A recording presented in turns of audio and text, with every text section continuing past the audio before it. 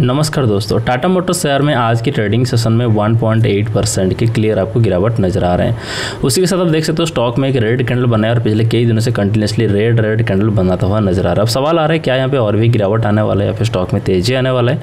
तो अगर ऊपर बढ़ेगा क्या टारगेट रहेगा, नीचे अगर क्या सपोर्ट लेवल रहेगा, सभी कंडीशन को आज हम इस वीडियो में क्लियरली समझेंगे। तो इस वीडियो को कम्प्लीटली एंड तक ज़रूर देखिए। दोस्तों, यहाँ पे नोटिस कर सकते हो Tata motor share stock up एक जगह लेके हायर है, बनाकर ऊपर बढ़ रहा है और ऊपर बढ़ते बढ़ते स्टॉक ने यहाँ पे हाई लगा एक हज़ार अड़सठ को। देन उसको ब्रेकआउट करने के बाद स्टॉक हाई लगा ग्यारह में। सपोर्ट लेवल की अगर बात करें सपोर्ट लेवल आपको दिखा जा रहा है नौ में नज़र आ रहे हैं। और यहाँ पर एक और कंडीशन देख सकते हो कि स्टॉक यहाँ पर काफ़ी समय तक सपोर्ट रेसेंस बनाकर ट्रेड कर रहा था। उसको ब्रेकआउट करने के बाद स्टॉक यहाँ पर भी एक रेंज बना के ट्रेड करता हुआ दिखाई दे रहा है।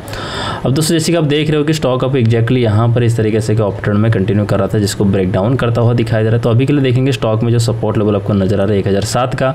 रेजिस्टेंस की बात करें तो ग्यारह सौ अड़तीस में नज़र आ रहा है और यहाँ पर जैसे कि आप देख रहे हैं कि आज के ट्रेडिंग सेशन में इतनी बड़ी गिरावट है। और स्टॉक अपना नेक्स्ट सपोर्ट लेवल जो कि आपको दिखाई दे रहा है यहाँ पर, एक हज़ार सात का यहाँ तक आने का संभावना भी हाई रहेगा। राइट